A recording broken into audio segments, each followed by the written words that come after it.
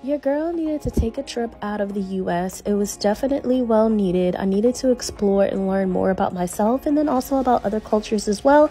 So, why not go to Merida, Mexico?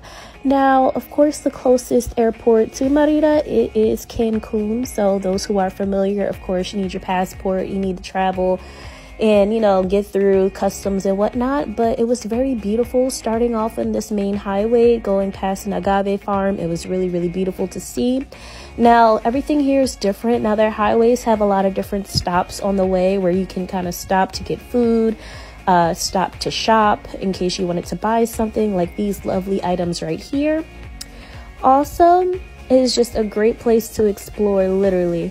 Now, of course, you have to have pesos. The more that you go inland, they do not accept USD at all. So, most of these places that we're looking at right now accept pesos and pesos only. There are some locals that will willingly trade with you.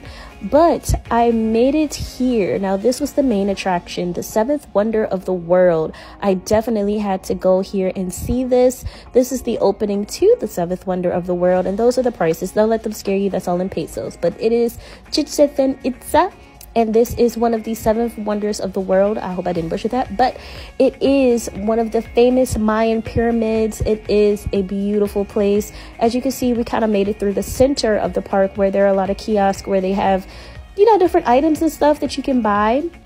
They do have plaques all around the park to kind of give you uh, background information. This is the map of it. It was fairly large, so I would definitely say if you plan to visit, wear some comfortable shoes.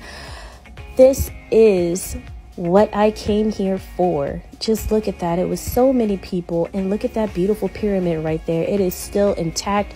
It is still beautiful. That's me, of course. I had to take a picture in front of it. I don't know why she took a video, but hey, it is what it is. I really enjoyed it. It was really amazing to look through. Looking at this, now this is where they played their soccer. This is like one of the arenas. It's very, very large, as you can see um it's well preserved. That's all i can say. Like this is the best that i've ever seen anything well preserved especially for a historical site for standing centuries long. It's so beautiful. I definitely recommend for everybody to visit. Part two coming up next